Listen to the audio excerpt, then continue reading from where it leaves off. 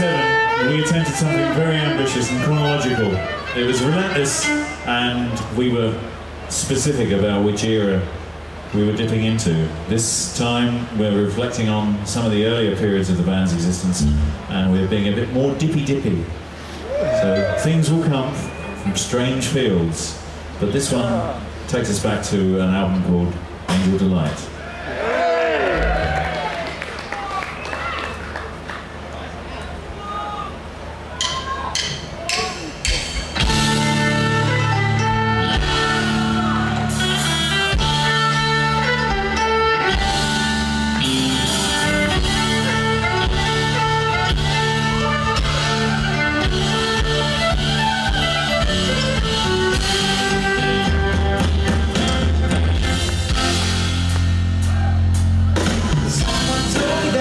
Grace that leads us from place to place,